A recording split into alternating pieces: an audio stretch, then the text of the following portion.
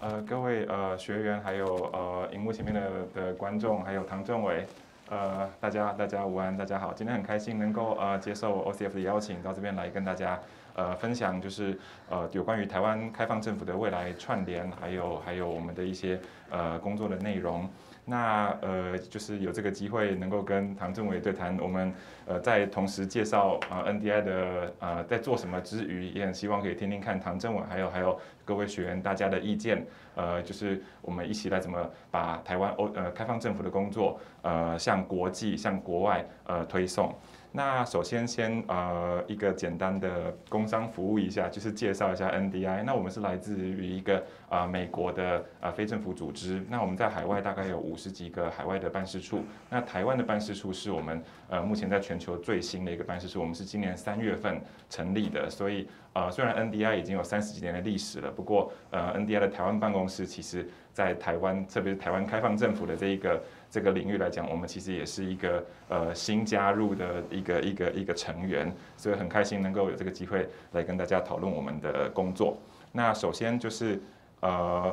讲到未来串联，就是当呃收到这个邀请要来谈未来串联的时候，那时候我就在想说，呃那到底可以讲什么？后来才发现，哎，其实 NDI 在台湾的几个工作重点，其实在做的就是呃，就是就是串联，就是就是有关于开放政府的串联工作。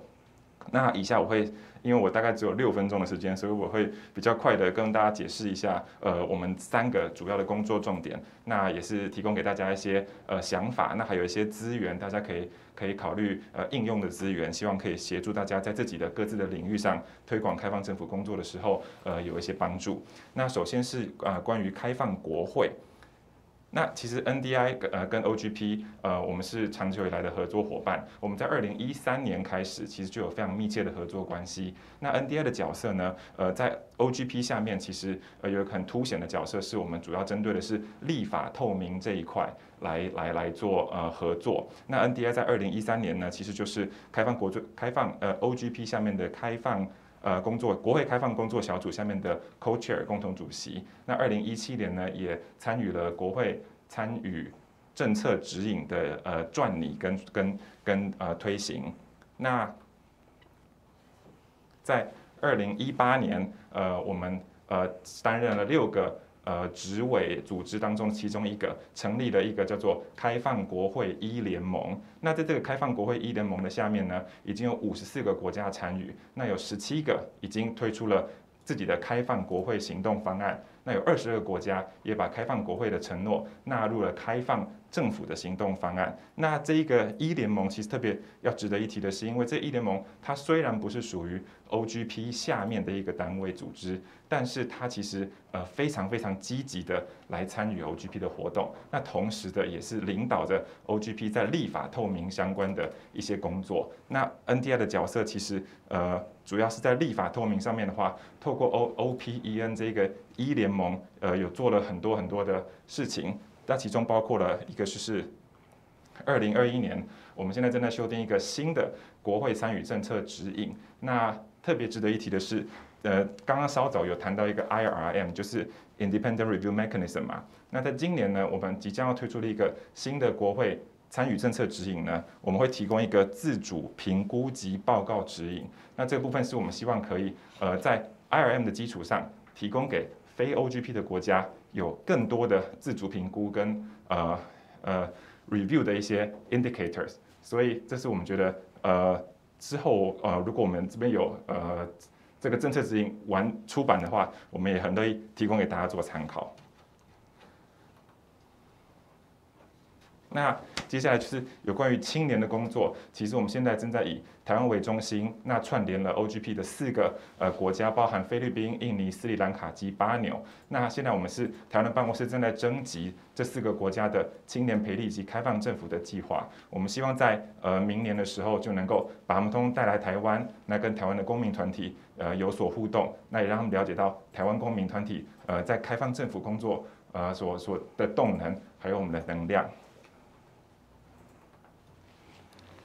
那最后一点就是有关于呃科技，这是我们六月份所举办的一个呃，Integrity Workshop。那 Integrity 其实全名是 Information Integrity。那当然这个是 online 的一个一个工作坊啦。那这个主要就是在讨论到开放政府跟资讯安全健全的角色。那我们认为，其实开放政府跟资讯安全健全其实是呃相辅相成的。特别是在不开放的政府下面，其实很常有一种情况是会利用呃科技来来操弄资讯。来来影响资讯的完整性，特别是利用资讯做恶意的攻击。所以这是我们为什么在 NDI 其实有一个在台湾的工作的一个很重要的重点，就是希望能够串联台湾的公民科技团体，来寻求不同的方法，来强化资讯安全跟资讯健全的呃技术。那也希望可以把这样的 know how 推广给我们在国外的其他 partner。那这个是我们放在呃 HackMD 上面的。简报的话，你如果直接点进去的话，就可以看到我们的网站。这个是我们有关于 cyber security 资讯安全工作开发。那这个呃资源其实给大家做参考而已。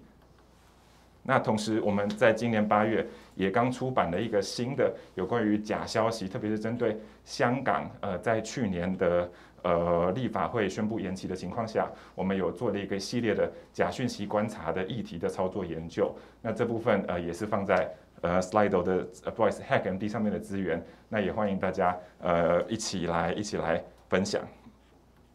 那呃，因为我好像超过时间了，所以我不好意思。那我这边就是简单的介绍一下我们在台湾的工作。那呃，希望也可以有一些资源给大家来一起一起运用，一起思考怎么样能够把呃我们台湾的开放政府的工作能够推得更远。谢谢。好，谢谢我们吴总监的分享哦。我们现在把这个画面可以切到那个 Slido 上面。那在接下来呢，我们其实还有一段时间，在我们六点之前呢，其实呃都开放大家来这边做提问。那主要是无论是吴总监他带来的这个案例，还有我们唐凤唐政委从原本的在民间到如如今进到了政府单位里头，我我相信其实希望台湾的政府可以。呃，跟国际串联以及越来越好是我们共同的目标。那我们现在看一下，在 Slido 上面已经有两个问题了啊。那这边其实是第一个问题是想特别想请教这个吴总监哦，您认为亚洲的国际伙伴可以如何促进台湾的开放政府推动？哦，那或是没有亚洲国家像菲律宾、印尼等案例可以分享参考的吗？没事，没事。呃，其实就是刚我刚刚提到的那一个，我们四个国家的串联计划，其实当时会选择四个国家的原因，就是因为他们都是 OGP 的会员国，那他们也都是亚太，呃，应该算是印太啦，因为我们包含斯里兰卡，都是印太的呃重要的区域伙伴，那也是在 O T OGP 当呃当中相当活跃的角色。那我觉得如何增进跟亚洲的呃国际伙伴的的推广动能，我觉得呃当然一个一个很好的切入点就是以台湾的公民科技。及公民科技社群长期以来的相当积累的动能，这个部分，我想唐政委稍后应该可以可以提供更多他的见解。那这部分也是 NDI 呃到台湾来，其实一个很重要的目标，就是希望能够把台湾公民社社群的 know how 这些技术、这些动能，能够推广到我们其他海外的伙伴的的的的的群体。那当然，我们最终的目标会希望可以说是在不同的国家，例如我们。的四个目前的合作国家，斯里兰卡、菲律宾、印尼，还有巴纽，都能够有一个像 G 零 B 这样子的角色。那呃，如果这样子的话，我们就可以把呃这些公民社群的呃技术啊，然后呃，当然不一定能够完全复制，但是我们很希望就是在那些国家也能够有这样子的一个社群。那我觉得这是一个可以参考的方向。好，那同大概也是这样的问题，我想请教在远端的唐政委哦，因为您除了参加过两次 OGP 年会外，也长期的参与这些国际互动嘛。那其实这些外国的案例，除了可以让台湾借鉴之外，那这些亚洲伙伴就是如何促进台湾的开放政府？您现在在政委的位置上，有没有什么样的观察或是经验可以分享？是，嗯，我要，我想首先说 a f r e d 没有超过时间哦，因为我五点二十的时候就有跟他们说，跟幕僚说，呃，我的六分钟给 a f r e d 所以你时间刚刚好，没有超过时间。那回到这个问题来，呃，我们在 OGP 的年会上面看到的，其实不是只是所谓成功或失败的案例，而是它的概念是一个工具箱，呃，OGP Toolbox，这个是在呃当时在法国的时候就有提出来的嘛，也就是。说，我们不是把民主想成一套制度，你要么整个班，呃，这个我们看最近的例子就知道，整个班不一定适用啊，呃，要么就整个部班，而是说，呃，我们挑里面的好像工具箱一样，一点点一点点的，好比像说，今天大家参与了这个 Slido，发现 Slido 好用之后就可以用了，或者是说今天发现这个 Big Blue Button 好像也还蛮不错，蛮顺的，哎，之后就可以自己架啦，等等。也就是说，把民主不要想成是一整套制度，而是想成一点点、一点点 increase mental 就是呃，就是一点点、一点点有所增进的一系列的工具。那这样子的话，我每一次去 OGP 年会，我们分享的可能只有一两个，哎，这些这个印太的国家会用到，但是他们去用到之后，好比像说 G 零 V 的真的假的这样子一个事实查核的系统。当然，我们在查核的很多是呃五花八门，因为我们言论自由非常的蓬勃嘛。但是到泰国的时候，他们可能一开始因为他们的言论环境，那就决定说呢，他们专门只去呃查核像食药署呃会查核的那一些跟大众健康有关、跟政治比较无关的。可是他们透过这样开放的方法，把泰国版的 COFAX 呃做出来之后，呃，其实他们就凝结了各种各样的民主运动者，等于大家有一个成功的经验。那在那个之后，他们要去做额外的别的呃动员的时候，就变得突然很容易，因为大家已经在某个比较小的案子上面曾经有过彼此信任，当然也会比较信任我们 G 零 V 这边出来的像 COFAX 这样子的做法。我就只举这一个例子，但是有很多类似的例子。好，谢谢唐政委的回应。我们现在看到 Slide 上面有一个问题的赞数飙升起来了。他这边有提到说，其实一整天听下来啊，国家和政府领导人的态度在开放政府中扮演关键角色。也就是说，上位决策者如果没有这样的开放政府意识，呃，相对的能活动的空间就比较有限。那我想稍微修正一下这个，呃，不，我想稍微添加一下这个提问。第一个就是可能问一下吴总监，作为外部单位或民间，你可以有什么作为哦？那一样都是这个提问，我想。呃，就教一下我们的唐政委，你自己进入政府之后，可能也会有很多政府分门别类的不同的分工。那作为呃政务委员，你怎么样去协调这些不同的部会？好，那以就这一题，就是也想请两位跟我们呃听众朋呃观众朋友学员们分享一下。啊，那阿飞请。是，呃，就是对，刚刚回应刚刚唐政委讲了一个一一段，我觉得其实讲的非常的非常的正确，就是其实这一些改变，我觉得。呃，都是 incremental 的。那当然，呃，我觉得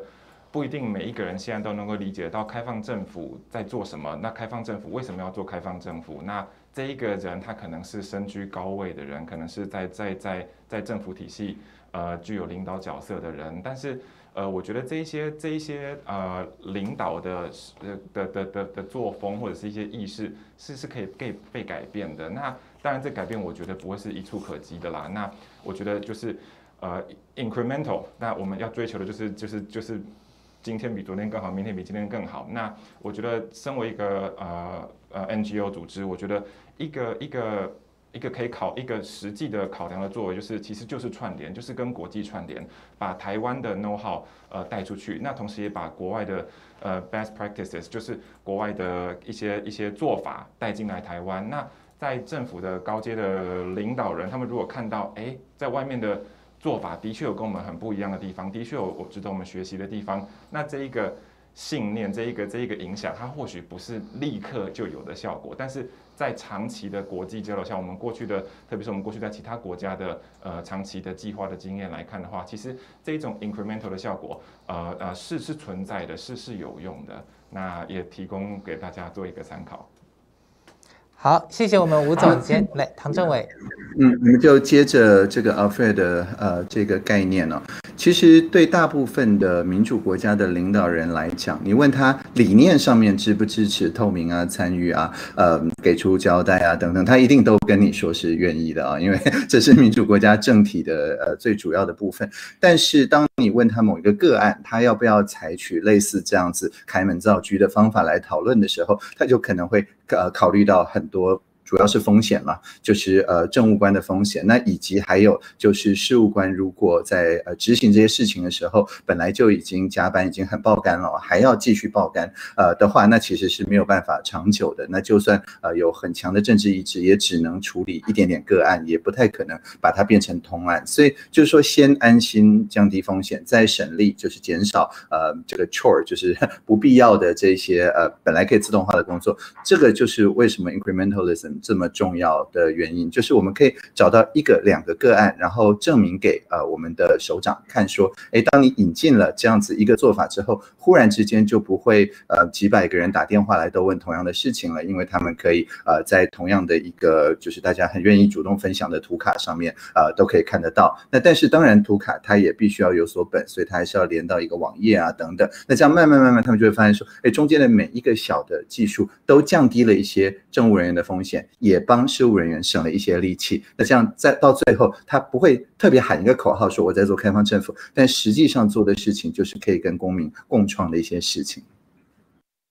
好，谢谢唐政委的回应。接下来我们 slide 上面按赞数最高的这个问题是提到说，哈，呃，如果民众不关心这些资讯，民众呃政府会一直怪民众就是看不懂或者不会用，那也没办法去吸引民众去主动了解。那这些政策要如何进行下去？那我想呃这一个提问呢，无论是吴总监作为民间的 NGO，或者是我们的唐政委在体制里头，我可能会遇到这些政策沟通上面的落差。那是不是也分别就两位的这个观点，就这一题给我们一些回馈？来，吴总监是呃这部分，当然我。可能就是以民间的 NGO 的的身份来发言啦。那当然，我也是以一个台湾人的身份来发言。是，呃，我觉得主要是要要让能够要让主动让民众能够了解这个开放政府是在做什么。那呃，就是不应该，当然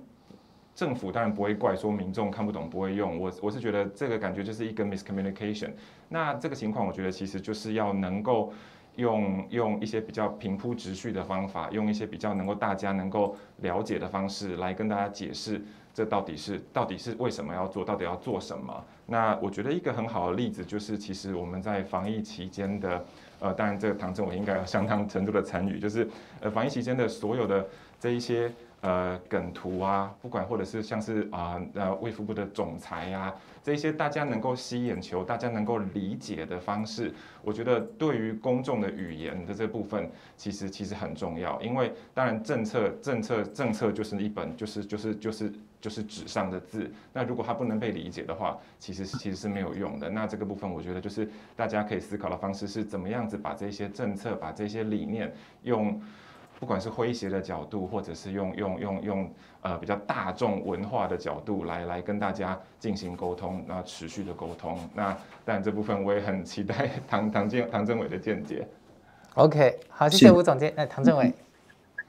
对，其实如果大家有呃学龄的小孩或者朋友的话，就会知道说每个小孩他的吸收知识的方法是完全不同的，就所谓的多元智能。有些人他是非常喜欢看文字，像我了。那但是也有一些人他是一定要听人讲，他要听 podcast，看字是没有办法的。有些人他一定要看绘本，有些人如果没有互动，自己动手做的话，他绝对记不起来等等。所以本来就是每个人对于知识跟资讯的吸收就有自己所。习惯的模态 就是 modality。那当然，呃，我们都是就是专业的公务人员哦。大家不管国考、高考，我想文字的使用能力应该就是 整个人口中的前百分之一。但是这样子的意思，也就是说，我们会常常觉得说，哎，这个明明就很容易看懂，但是其实对不是习惯文字模态的人，并没有那么容易看懂。我想到说，呃，二零一八年我们公投的时候，中选会自己去模拟投票，都非常快速就看完公投的那些命题哦，然后盖了章。就出去，平均每个人只要三十秒。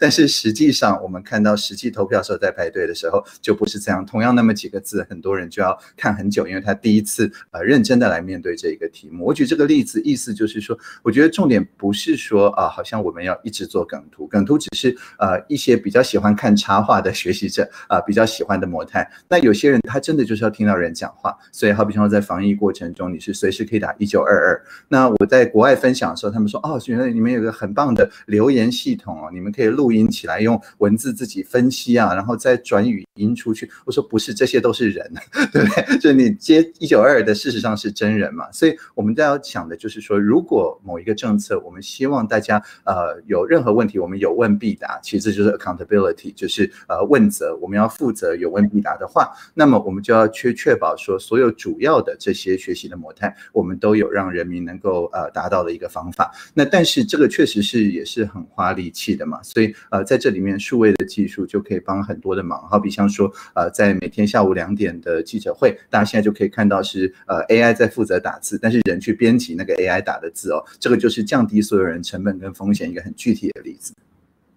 OK，好，谢谢唐政委的回应。我想下一个问题也是接着这个问题往下延伸哦，也就是说，呃，目前看起来这一个开放政府，除了是这个国际接轨，或者是呃中央部会在领导这个政策，那呃。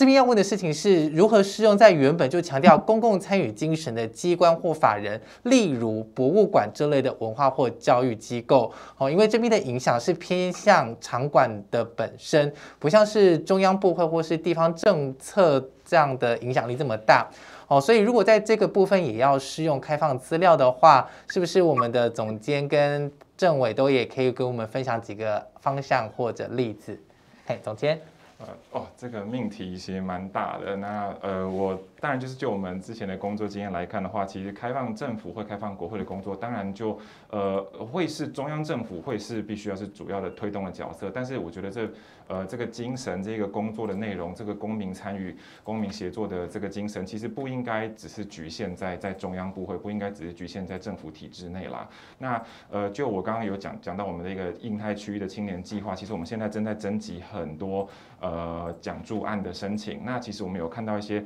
非常多呃地方地方呃 local level 的的的的政府单位，或是 local level 的公民团体在做地方性的开放事务，那同时也包含了一些呃，我觉得是教育机构，还有一些培训机构，呃，他们也都是在呃推广资料开放、资讯开放的的工作。那特别一个我比较印象深刻的一个申请案是，他们其实是希望可以透过地方的社区中心。然后来组织，来组织妇女，那来一起讨论如何解决在那个国家呃性剥削的问题。那他们想要提供透过妇女的声音，呃，来来来营造一些影响力，来尝试的影响他们的当地的地方政府，或者是但甚至是当地的乡里，来来来改善这一个呃性剥削的状况。所以我觉得其实文化或教育机构在开放政府、开放资料上面，其实还是有它的。它的它的社会社会意义、社会价值的，那我觉得这部分，呃，当然当然，呃，例子很多，那我觉得大家大家当然是可以可以可以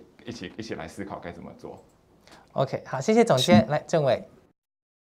呃，当然，呃，故宫博物院是在这里面一个很特殊的情况，因为它既是中央部会，啊，也是一个博物馆哦，这个应该全世界都少见的。但是我们也可以看到，因为呃，就是故宫也有一个 PO，呃，也有一群 PO 的关系，所以其实我们跟故宫的合作是很多的，甚至不一定是透过协作会议的方式。大家如果去找故宫开放资料的话，就会找到什么动物森友会的一堆 QR code 啊，你可以很容易扫了，然后就呃把翠玉白菜什么。肉形石放到自己的无人岛上面等等，也就是说，呃，对于一个文化活动来讲，本来开放授权就是让你的这些文化资产跑到一些你本来很难想象的地方，然后去进行二次、三次甚至更多的创造。那本来博物馆的藏品就好像，好比像我们国教院呃手上有很多字典等等，这些都是不怕人知道，就是只怕人不知道的东西。所以其实只要他的手掌呃这个概念一转过来，把它想成不是。是，就是我拿来盈利的，而是我是拿来做文化传播的。那这个观念一转过来之后，其实它的那个量啊，不管是开放资料的授权条款的，就是普及的程度啊等等，一下子就可以超过很多别的部会。所以我是觉得说，把不管是故宫或者国教院，呃，最近的一些例子去呃拿给大部分的其他呃国家的印太区域的博物馆或教育机构，其实我觉得都是非常有说服力的。OK，好，谢谢政委这边的回应。那接下来，哦，刚才有一个问题就是浮上来了，哦，他这边针对两位两位都有提到问题哦。第一个就是就教于唐政委在体制内推动跟在体制外推动这个开放政府最大的差异和限制分别是什么？那另外就叫吴总监。呃，因为您是来自于民间的 NGO 嘛，那如果政府对你们都是不闻不问，那你要如何面对这种狗吠火车的状况？来，那我们所以先请总监回应。哦，首先要谢谢就是这个提问的人，我发现就是如果是 anonymous 的话，那个问题都非常的、非常的、非常的 to the point，所以所以很很好。但这部分呃呃，以我个人或者以 NDI 在台湾的的角色来看的话，呃，就非常感谢我们目前还没有遇到狗吠火车的状况啦。其实其实我觉得台湾的开放政府一个很重很大的一个特色是它同时是 bottom up，它同时也是 top down，就是这一个这个。这两边的动能都是有的，不是只有一边拖着一边走。那其实我们在一些其他国家的一些一些案例有看到，都是有有的时候可能是政府有意愿做，公民有这样的力量；有的时候是公民社群一直想拉的，但政府不愿意动。但我觉得，呃呃。当然，这狗吠火车情况或许是个案，或许是个别的案子、个别的部位，但是我觉得以大环境来讲的话，其实台湾的两边的动能，其实其实都是相当、相当、相当、相当令人敬佩的。那我觉得。狗飞火车的这部分，或许我觉得某一种程度也跟着，可能是台湾的呃呃，或者是政府的体制，长久来政府体制包含是呃用人的考选培训制度这个部分，其实因为当时在设计这些制度的时候，其实开放各种政府它可能不是一个不是一个重要的议题，所以说在在一系列的这些这些呃用人考选或者是甄甄审培训的制度来看的话，呃。跟跟现在这一个新的课题不一定能够能够能够 match 啦。那也就是说，像今天早上刚好有人提到说，公务部门都是呃层层层层节制、分层负责的情况。那我就觉得说，这个这个就是一个可能大家稍微比较宏观来看一些组织性的的架构的的的问题。因为节制的人或者是负责的人，呃，如果如果如果不是民间团体的话，那显然就会出现一些呃 miscommunication。那这部分。这就是更大的议题了，该如何该如何有组织的内部的推动改变，来来来来来迎合这一个新的开放政府的工作的需要。那我也很期待听听唐政委的看法。好，谢谢吴总监，来，我们政委请。是，呃，我想到狗吠火车，我就想到这个一群哈士奇在雪地里面拉雪橇的那个呃情况。也就是说，火车的特色是什么？是铁轨铺得到的地方它才能去。就像中央政府如果这个立院没有通过总预算的某个科目，其实我们根本不可能做那件事情。而预算的审议又是呃每年才一次，那呃更不要说光是预算编列还是不足嘛，你还是需要有很多可行性分析、评估等等。也就是说。当铁轨全部都盖好了，可能到最后我们已经不是要去那边了，我们是要去别的地方了，所以才会出现狗吠火车的情况。但是我觉得台湾的一个特色就是我们这个迭代的速度变得非常的短啊，我们可以看到大家。就是打电话给一九二，如果问到一个很很到点的一个问题，或你找呃就是媒体帮忙你问的话，那隔天下午两点如果问不出答案来，大家都不接受。所以意思就是说，在其他的政体，你要四年才能够让火车转一次方向的事情，在我们这边大概二十四小时哦，大家就会期待它转一次方向。那这个它呃是有赖于什么呢？有赖就是在民间的公民的社群自己去做出一个可能开门造句没有火车那么庞大，但是也是能动的一台雪。雪橇，我在想的是口罩地图这一台雪橇，或者简讯史连制这台雪橇，哎，都不是我发明的。事实上，我到最后看到的时候，它都已经设计的差不多了哦，就是已经拉到一个，哎，我觉得这真的是一个比较好的一个点了。那我再回头来说，阿龙，赶快把铁轨铺到那个地方去。所以也就是说，传统上面公民社会如果要抗争的话，通常是用示威游行 （demonstration） 的这个方式。但是呢，因为在数位的世界有一个新的想法，把它实做出来，并不需要花太。太多的成本，所以这个 demonstration 就变成 demo，就是是一个展示的一个方式。也就是我抗议的时候，我还附上呃一个呃就是新的做法。那这个新的做法也已经小规模验证没有问题，它需要的呃只是增幅起来。所以其实只要开这个呃铁轨的人，他愿意说，哎，那我就呃不是每四年再来看一次，或每一年再来看一次，而是我愿意每六十天来看一次，甚至呃每七天来看一次的话，那么其实我想狗吠火车就是叫一叫之后。狗就自己拉到那个雪橇那个地方，就变成真正意义上领头羊。嗯，OK，好，谢谢政委。由于我们时间的关系，后面几题我想就是统一重整，然后请两位回应之后，也帮我们下个小结哦。那后面。这边有几题哈，第一个比较大在问关于开放资料跟个人隐私的争议要如何平衡。那其实我们今天讲了不少国外的案例，是不是最后可以给我们一些建议？就是说台湾在开放政府这方面有哪些优势或者特别之处？那刚才唐政委或许有提到，就是别人要四年才能改变一次火车的方向，可是在台湾几乎是 二十四小时就会有记者会的回应。所以其实从这边来看，台湾对于其他国家伙伴的技术和能力，呃，有哪些是我们还可以跟其他国家学习的部分。那其中有一个匿名的伙伴提到一个，其实就是讲到我们的政党轮替，因为我们迟早要面对选举这件事情。那唐政委，如果你不在这个位置的时候，对于这样子的政策停摆或者逆转有什么样的想法？那我想最后一个问题，虽然没有点名到吴总监，吴总监也可以回答。好，所以最后一点时间就是给两位在把我们这些呃提问给一个简单的回馈。好，总监请。我。但最后一题我可能没有办法回答，但是我就针对呃前面的几个 几个 comment，我呃总结来讲的话，我觉得其实台湾有台湾，我想大家应该都同意，台湾的公民社群其实有相当大的动能，那这就是我们的优势，也是也是我们的特别的的地方。那我觉得另外一个想要特别提的是，呃，我们我们对于资讯的透明的的要求，基本上我觉得在台湾已经是成为是一个。最基本的、最基本的核心价值，这个应该叫做完全透明。我们要求的是 radical transparency，这是一个、这是一个呃一个政府治理的一个、一个、一个、一个名词。但是我觉得台湾对于资讯，呃，我们我们都要都要什么都要知道，那政府也就必须要呃同时要揭露所有资讯，因为这样子，这个、这个、这个在。我们看起来已经是稀松平常必备的事情。其实，如果走出去台湾，你会发现，其实很少国家有像有像台湾这样子，有那么高度的的透明化的资讯，有有那么那么直接的政府跟民间沟通的管道。那这部分，呃，其实其实我觉得，我觉得是是台湾的优势啦，也是我们很希望能够，呃，NDI 很希望能够在台湾，呃呃学习的部分，那把这一些 know how 带给我们在海外的 partner。好，谢谢总监。来，我们请我们的政委。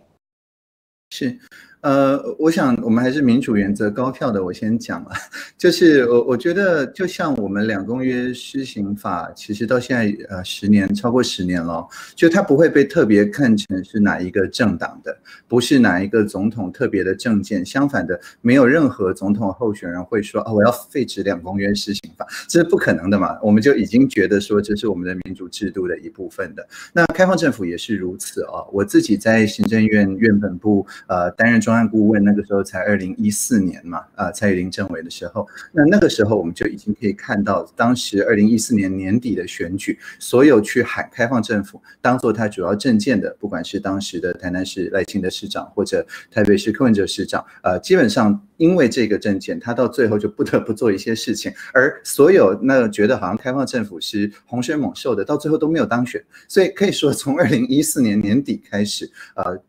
主要的政党，像现在国会四个主要的政党，主要都是竞争谁更透明，谁更能够参与，谁更负得起责任。大家彼此指控，也是指控彼此黑箱等等，基本上是没有任何人去说啊，那我们就不要做开放政府，我们赶快走回头路啊。事实上是没有人这样讲的，任何一个政党这样讲，差不多就等于政治自杀。因为呃，我们在二零二零年总统选举前，呃，有一些朋友去做了调查，那不管是当时呃蔡英文候选人阵营或者韩国瑜。候选人阵营，呃，他们都觉得说，呃，民主的深化、国际的连接是最重要的两件事情，而且互相指控对方没有做好。所以，不管互相指控这部分怎么样了，但是我是觉得说，这个已经变成我们的政体的基本的价值。那只要是公民社群的朋友们持续持守着这个价值，我觉得停摆或逆转是不太可能的。那政党的竞争也是建立在谁能够更好的去完成这个价值上面啊。那当然，呃，开放政府资料跟个人隐私。其实，在以前看起来有争议，是因为开放资料如果要拿掉个人隐私的部分的话，当时的技术会造成它可用性的丧失。但是现在，因为我们国网中心有非常庞大的算力哦，所以就是我们运用所谓的隐私保护技术去产制合成资料。那合成资料的意思就是每一笔看起来都像真的，但其实没有任何一笔是真的。那因为有一些新的这种隐私保护技术的关系，所以其实这两个是已经可以呃两全了。就好像说呃喜欢这个肉的这个吃肉的感觉，但是又呃。道德上面想要吃素的人，那现在有合成肉出现了，他就可以两全。那等到合成肉的这个价格变得非常低的时候，那其实就会取代很多大家习言而不察的呃做法，是一样的道理。所以，我们这很多的看起来的两难，其实是技术呃有新的发明或者普及之前才看起来像是两难。但是我们现在呃，特别是因为防疫的关系，必须要两全的情况下，我们已经摸索出相当多两全的方式哦。希望回答到这个问题。好，谢谢我们今天行政院唐凤唐政委以及我们 NDI 的吴总监，跟我们在第一天工作坊的最后带我们来这样子非常精彩的对谈。好，我们借由这样子的对谈内容，可以总结我们今天整天的课程，关于台湾开放政府的未来串联，应该给镜头前的各位伙伴学员有很大的鼓励和激激励哦。好，我们再一次谢谢唐政委以及吴总监，谢谢。谢谢。谢谢。